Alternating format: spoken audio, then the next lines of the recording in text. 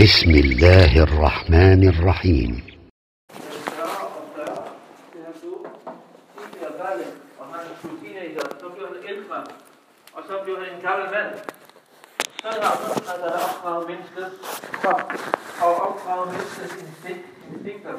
og hans tankegang intellekt og Og der er rigtig mange forskellige opdragelser fra Allah subhanahu wa ta'ala til mennesket. Men øh, sådan er Allah subhanahu wa ta'ala. Han har skabt det hele, og han har opdraget øh, alt. Men ordet Rab kan også, også have en anden betydning. Det er den, som Salaf de har taget som tawhid og Rububiyya. At Allah subhanahu wa ta'ala, han er den, som er, har skabt alt. Han, han er Rab, yani, han er skaber, han er forsyner, han er den, som giver liv og død, han er den, som har magt over alting, han er den, som har, ham ejer alting. Det er det, som vi kalder for tawhid og Rububiyya. Så han er Rab. Det er den anden betydning for ordet Rab. Bevis for det, det er Alhamdulillahi Rabbil Alamin, at al lovprisning tilhører alle verdenernes herre. Yani, alhamd, ordet hamd, yani, øh, hvis man kender til den arabiske grammatik, så vil man kunne forstå, at ordet al, det kommer i mange forskellige betydninger. Men her, i den her kontekst, der betyder det, at alt, yani alle former for lovprisninger tilhører alle verdenernes herre. Fordi han er den, som ejer, og han er den, som har ret til at blive, hvad hedder det, lovprist. Og øhm, Rabbil Alamin, han er herre og Rab for alle verdener. Der er rigtig mange forskellige alam, rigtig mange forskellige verdener, men han er Rab over alt. Der er den her verden, der er måske andre verdener ud i horisonten, som vi måske ikke kender til. Der er, selv i den her verden, er der forskellige verdener. Verdener af mennesket, verdener af djinn, verdener af fugle, verdener af forskellige øh, hvad hedder det, planter, verdener af engle, verdener af forskellige jord, forskellige himle, forskellige slags vand. Alle de her forskellige verdener, han er herre over alt. Og derfor siger Sheikh Rahimullah, at han er herre over alt, alt. Udover ham, Allah subhanahu wa ta'ala, det kalder vi for hvad? Alam. Det er verden. Han er skaber, og alt andet det er skabt. Og alt det, som der er skabt, det er hvad? Verden. Og så siger han, Anna, at jeg er en del af den her verden. Yani, vi er også en del af den her verden. Vi er skabt for Allah subhanahu wa ta'ala. Vi er også en del af den her verden. Så derfor så er det obligatorisk, eller så er det oplagt for os, at vi skal prise Allah subhanahu wa ta'ala, fordi han er vores Rabb, og vi skal kende ham, fordi han er, han, det er ham, som har skabt os og givet os alt. Og så nævner Sheikh Rahimahullah, at fint nok, I siger, eller vi siger, at vores Rabb, det er Allah. Ikke også? Men, فَإِذَا قِيلَ لَكْ بِمَا عَرَفْتَ رَبَّكَ Når der bliver sagt til dig, hvordan har du kendt din Rabb? Hvordan ved du, han er Rabb? Og svar på det, så er der rigtig mange forskellige ayat fra Quran al-Karim, der svarer på det her spørgsmål. En af de her ayat, som han, han har nævnt, det er قُلْ انظُرُوا مَا فِي, ما في السَّمَاوَاتِ وَالْأَرْضِ Se rundt omkring alt det, som der er i jorden og himlen. Yani alt det, som der er blevet skabt af jorden og himlen, og hvad der er mellem dem. Hvem er det, der har skabt den? Uh, og Allah subhanahu wa ta'ala han siger, أَوَلَمْ يَنْظُرُوا فِي مَلَكُوتِ السَّمَاوَاتِ وَالْأَرْضِ وَمَا خَلَقَ اللَّهُ مِنْ شَيْءٍ Ser det ikke i de forskellige riger, himlens riger, jordens riger, og alt det, som Allah subhanahu wa ta'ala har skabt, alt det her, det er noget, der tyder på, at der er en skaber til alle de her ting. Hvis et menneske samler sammen, hvis mennesker, alle mennesker samler sammen, og alle forskere samler sammen, og prøver på at skabe en lille, en lille myg. Hvor stor er en myg i forhold til hele verden? glem verden, en lille myg, og de vil gerne skabe en lille myg, vil de aldrig kunne skabe en myg. Allah subhanahu wa ta'ala, han siger, han, de vil heller kunne ikke skabe en vinger af en myg. Glem myggen. Subhanallah. Det er det, som er vidunderligt. Det er det, som leder os til vores Rab, vores Herre, vores skaber, Allah subhanahu wa ta'ala. At det er ham, alting i den her verden, den tyder på, at vi har en skaber, vi har en Rab, som har øh, skabt os, som har fået os til at være dem, som vi er. Selv i menneskets egen, egen krop er der tusindvis af tegn, at der er en skaber, der har lavet den her nidam, den her, den her menneske. At hvordan mennesket spiser, og hvordan den, øh, øh, maden den bliver fordøjet, og hvordan den bliver øh, brugt i forskellige mineraler, forskellige vitaminer, de bliver delt ud i kroppen. Noget af det, det bliver til blod. Noget, det, som der er overfladigt, det bliver til affald og taget ud af mennesket igen. Subhanallah. Sig til mig, en maskine i dag, kan Siemens skabe sådan en maskine i mennesket, hvor der kan øh, lave alle de her ting? Nej. Sig til mig, nogle af de her øh, ledende firmaer i dag, kan de skabe sådan en maskine, som et menneske har i sin krop? Aldrig. Subhanallah, det er derfor, mennesket lige meget, hvor meget han gør, han vil aldrig kunne skabe et menneske. Der var en forsker i Rusland, der prøvede på at påstå, at han kunne skabe mennesker.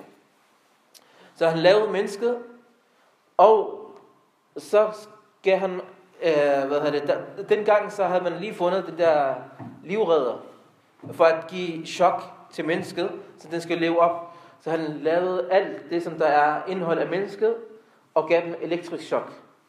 For han skal stå op som et menneske, men han stod aldrig op. Og subhanallah, det er kun Allah subhanahu wa ta'ala, der er eneste skaber. Og hvordan har vi fundet ud af det? Alt de forskellige skabninger, der er rundt omkring os. Det, som vi ser, det, som vi ikke ser. Spar os mennesket. Vi er e, e, endnu et tegn for Allah subhanahu wa ta'ala's Rab og hans herredom.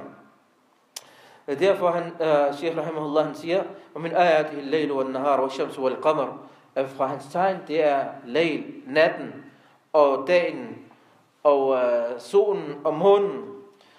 Abul Atahiya, det var en poet i gamle dage, han plejede at sige, وَفِي كُلِّ شَيْءٍ لَهُ آيَةً تَدُلُّ عَلَى أَنَّهُ وَاحِدُ Hver eneste ting, stort eller småt, den beviser, at det er et tegn. Det er et tegn for, at der har været en skaber til den her ting, at den, han, han er den eneste, der har ret, ret til at blive tilbedt, det er Allah subhanahu wa ta'ala. Så hver eneste ting, det er et tegn for Allah subhanahu wa ta'ala for os mennesker. Blandt andet, layl og nahar, natten, hvordan natten kommer, hvordan den går. Hvis hele verden vil stoppe med, at natten skal komme ind, de kan lave hele verdens lys, de kan ikke stoppe natten. Vel? Hvis de gerne vil have at det skal være nat, he, øh, øh, nat hele tiden. De vil ikke have, at dagen skal komme over. Og de kan gøre, hvad de har lyst til. De kan aldrig stoppe den lys, som Allah subhanahu wa ta'ala har nedsender, til at natten går væk, og dagen kommer. Subhanallah, Allahu Akbar. Alle de her ting, det er tegn fra Allah subhanahu wa ta'ala. Og øhm, der er en, en, en, øh, øh, nogle folk, de kommer til at misforstå det, som øh, Sheikh Rahimahullah han har nævnt her. Det er, at når han nævner, at hans tegn, hans skabelser, hans tegn og skabelser, at når han nævner hans tegn, så nævner han natten og dagen og solen og månen. Og blandt hans skabelser, så nævner han øh, himlene og jorden. Hvad er der forskel på de her to ting? Jeg vil sige, at der er ikke noget forskel på de her to ting. Både natten og dagen øh, og, og øh, solen og månen, det er tegn fra Allah. Og ligeledes er jorden og himlen også tegn fra Allah. Men øh, et menneske, når han ser dagligt hvad her det, jorden og himlen, han ser den 24-7, så, så, den, så, kan så kommer han ikke i den tankegang, at det her det er en tegn for Allah. Det er som om, det er en meget normal ting. Men en ting, som kommer og går hele tiden.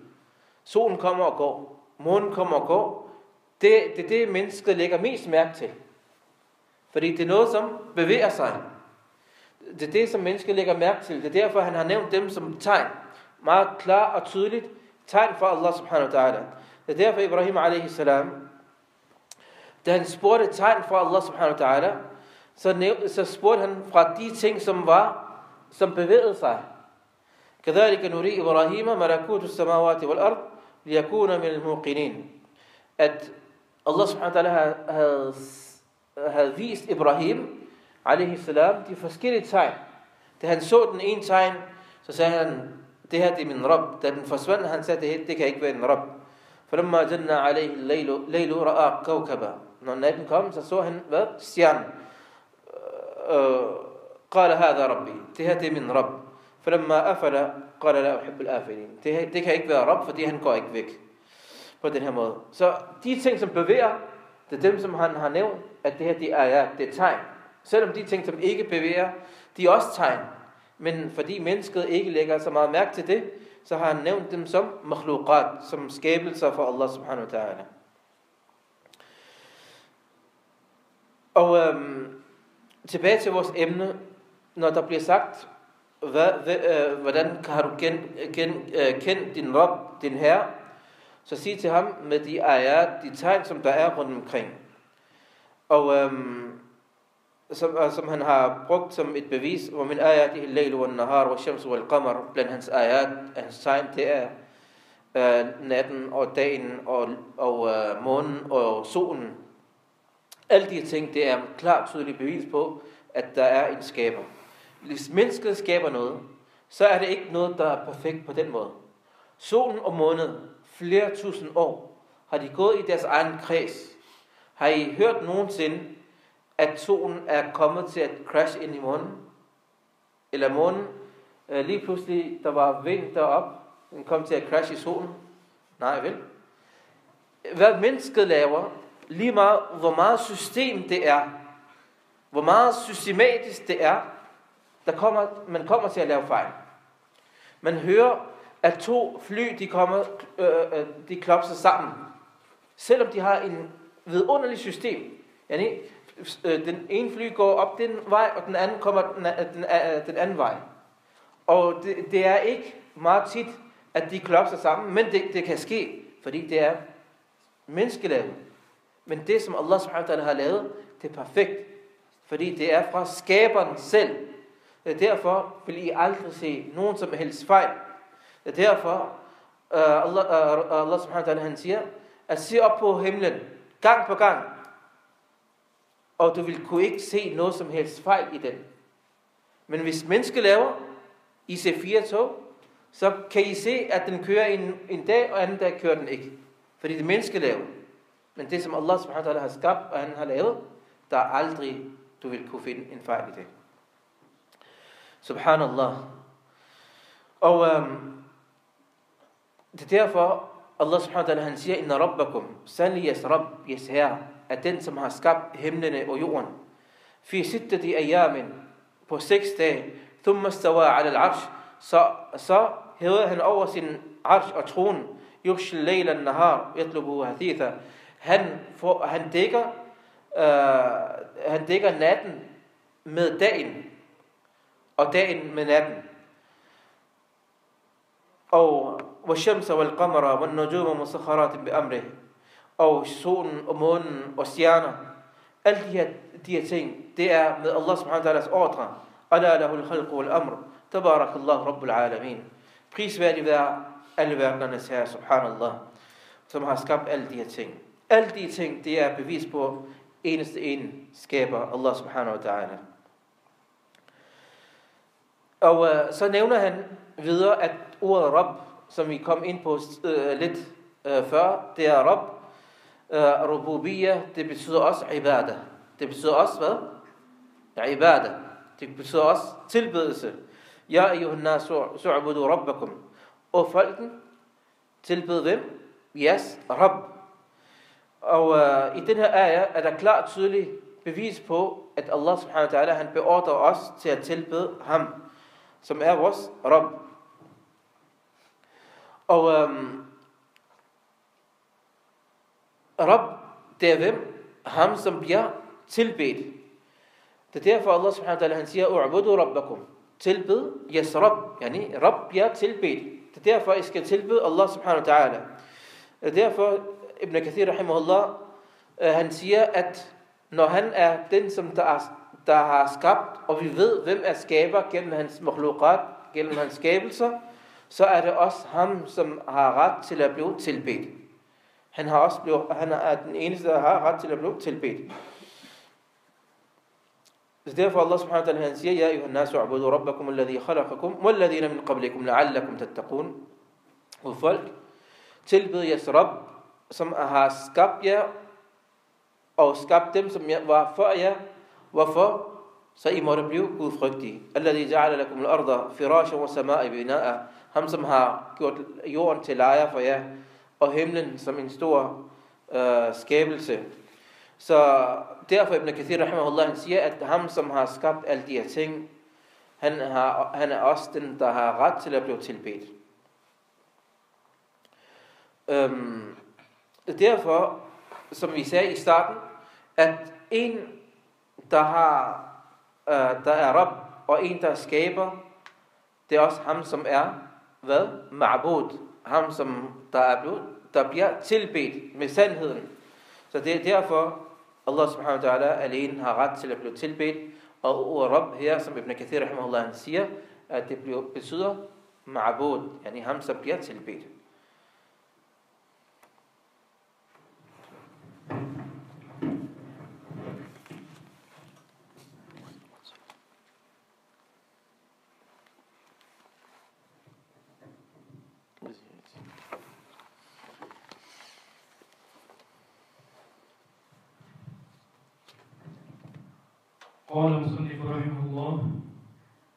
وأنواع العبادة التي أمر الله بها مثل الإسلام والإيمان والإحسان ومنه الدعاء والخوف والرجاء والتوكل والرغبة والرهبة والخشوع والخشية والإنابة والإستعانة والإستعاذة والإستغاثة والذبح والنظر وغير ذلك من أنواع العبادة التي أمر الله بها كلها لله تعالى.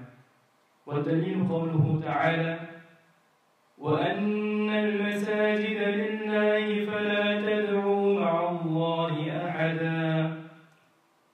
فمن صرف منها شيئا لغير الله فهو مشرك كافر.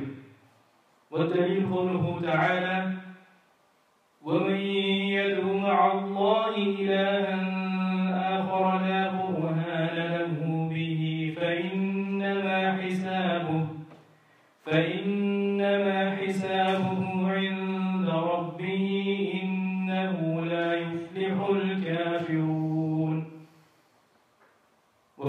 الحديث الدعاء مخى العبادة.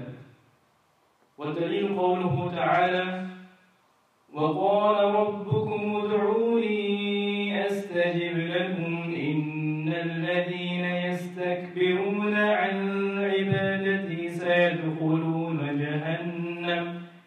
سيدخلون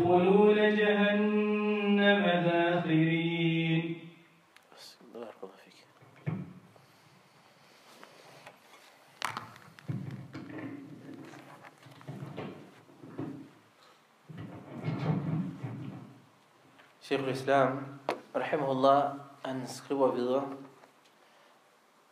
at anwar al-ibadah, at de forskellige former for tilbedelse af ibadah, som Allah subhanahu wa ta'ala har beordret os, det er for eksempel islam, iman, ihsan, og blandt andet dua, frygt, håb, og lid, og øh, frygt, og khushu,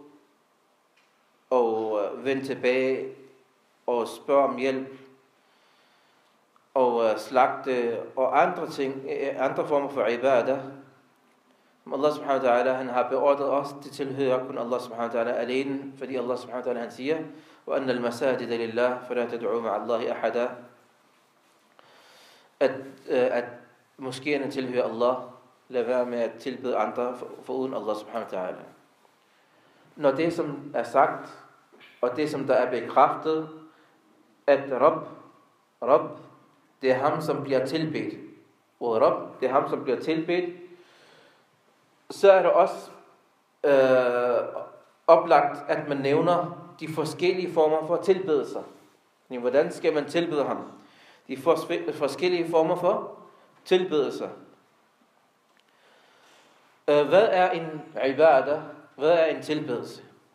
Hmm? Der er forskellige definitioner for ibadah og tilbedelser. Og øh, en af de her forskellige former for hvad hedder det, definition for ibadah, det er hiya kullu ma umira bihi min ghayri iqtida'in aqli wa idradin urfi. Alt det, som der, alt det, som man er beordret til at udføre, uden at det er logisk, uden at det er logisk, og uden det er en handling, som er, øh, som er en, tra- tradition. Det har ikke været tradition før øh, folk, og det er heller ikke logisk. Og vi er blevet beordret til at udføre det. Det kalder vi for hvad? Ibadah.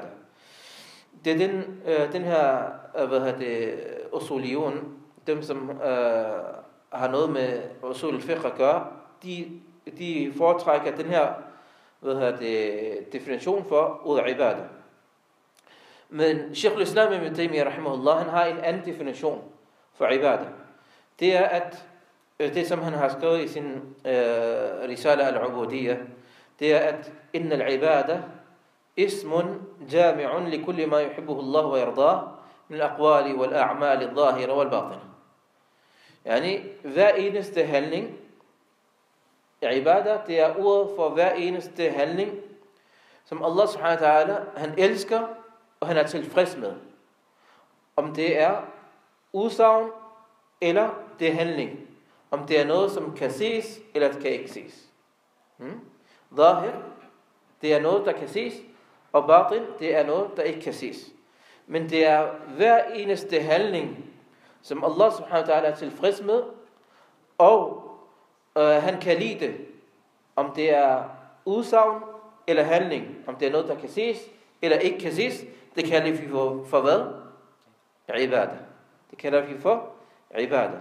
Og det er den letteste og den mest, hvad hedder det, øhm, øh, korrekte definition for ordet ibadah.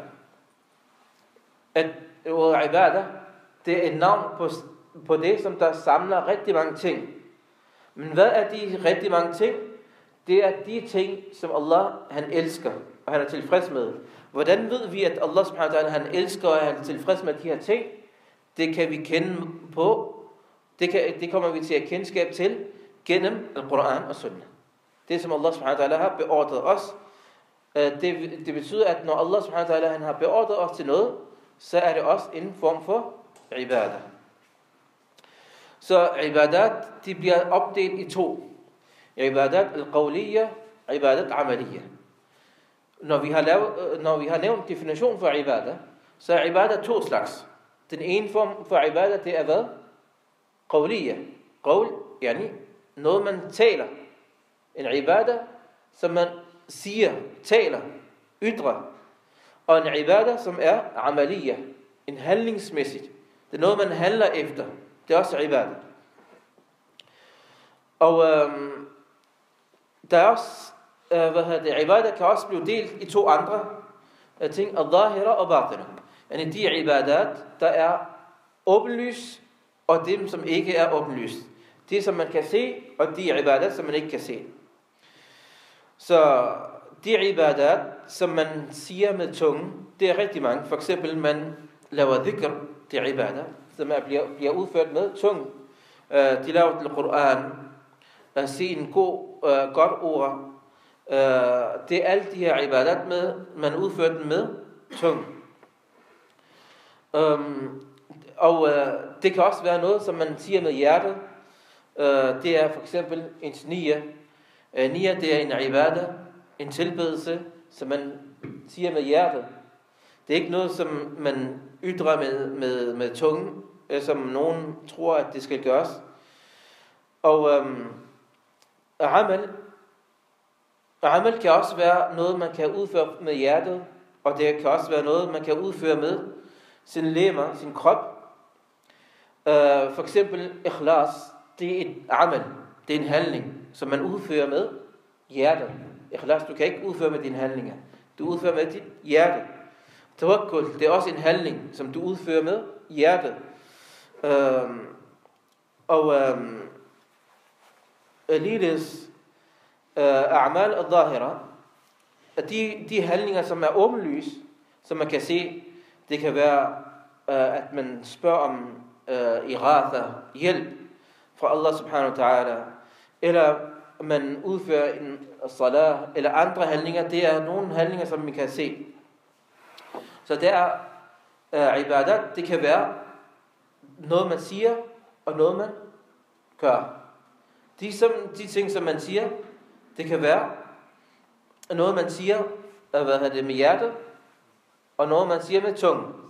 Og det, som man udfører af de her ibadat, det er noget, som kan udføres med hjertet, og det kan udføres med ens egen krop. Så det er fire forskellige slags ibadat, hvis man skal øh, samle det på den måde. Og når vi ved, hvad ibadat er, hvad tilbedelse er, så tilbedelse tilhører alene Allah subhanahu wa ta'ala. Om det er en tilbedelse, som er åbenlys, eller en tilbedelse, som er øh, udtalt, eller en tilbedelse, som er kendt, eller en, tilbed, en tilbedelse, som bliver udført med hjertet. Alle de her tilbedelser, det er tilhører kun Allah subhanahu wa ta'ala. Man må ikke tildele den til andre ud over Allah subhanahu wa ta'ala. Det er derfor Allah subhanahu wa ta'ala, han siger, Ja, Johannes, nas, u'budu rabbakum alladhi khalaqakum. Og folken tilbeder, til, tilbed jeres Rabb, jeres Herre, som har skabt jer. Og øh, hvis man begynder at tilbede andre ud over Allah, så nægter man hans herskab. Han er Rabb, han er skaber, øh, og det er det, som vi kalder for ashirk. At du tilbeder andre ved siden af Allah subhanahu wa ta'ala, så begår du hvad? Ashirk. At sætte partner ved siden af Allah subhanahu wa ta'ala. Og bevis på, at tilbedelse tilhører kun Allah. Man må ikke tilbede andre end Allah.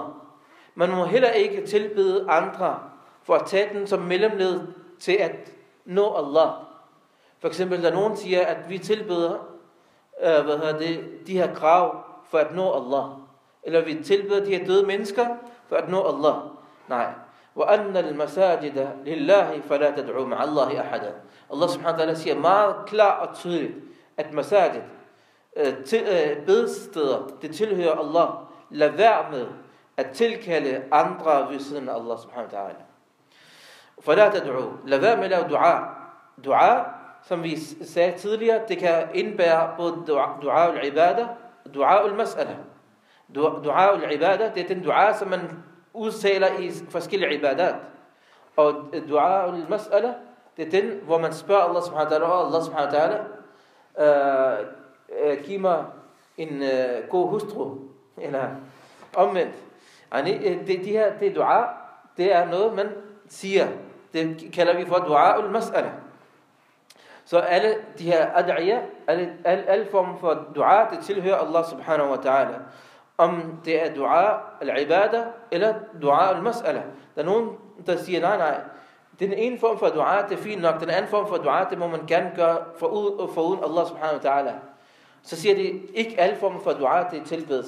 Hvordan kan du sige det her, når der er klar og tydelig bevis fra Rasul sallallahu alaihi wa sallam, hvor Rasul sallallahu alaihi wa sallam, han har sagt i en hadith, som Sheikh rahimahullah har nævnt, at dua u mukhul ibadah.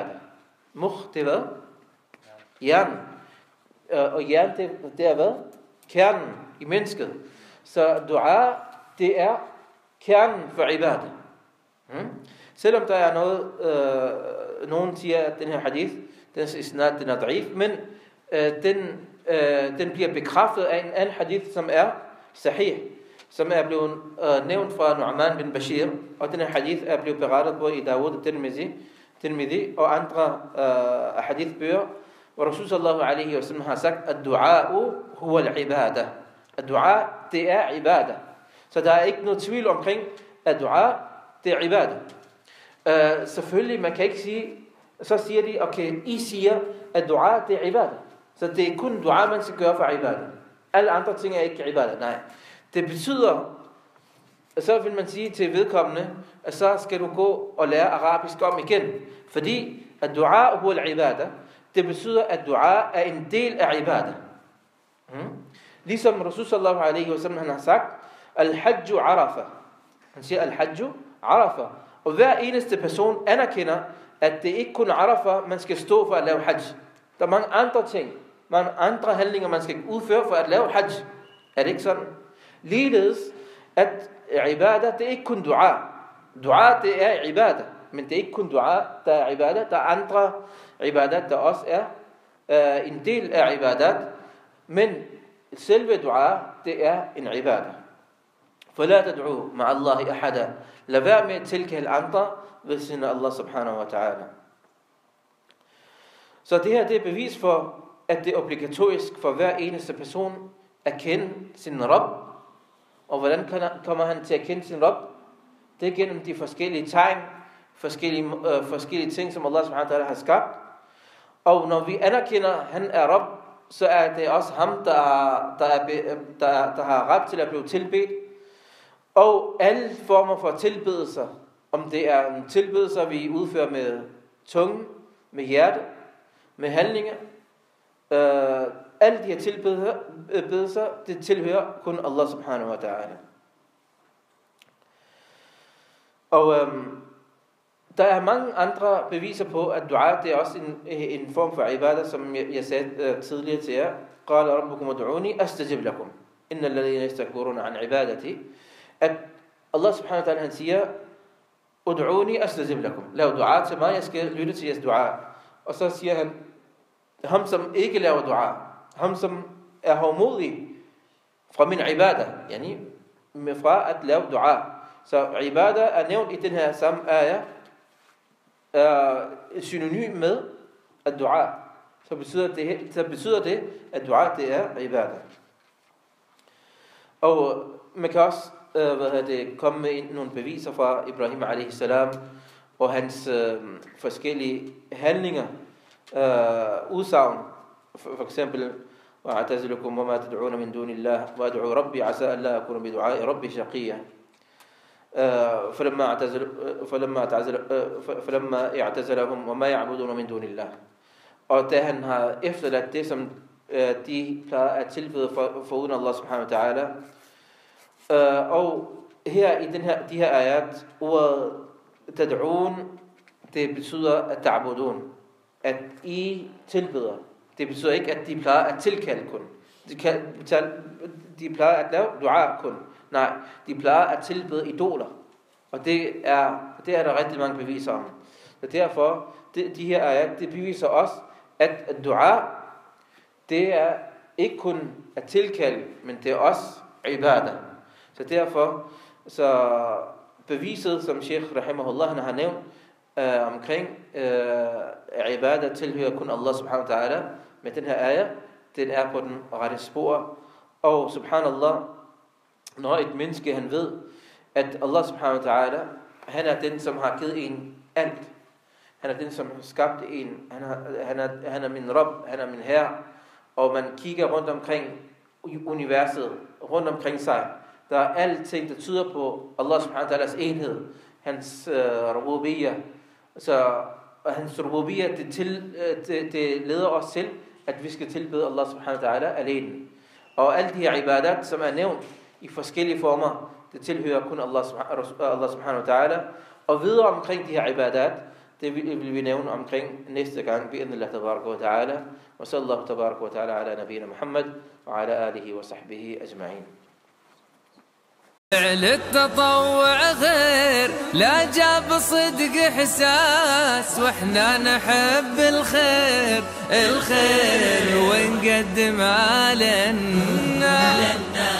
نحب الخير ونقدم على الناس. يبقى التطوع غير لا جاب صدق إحساس.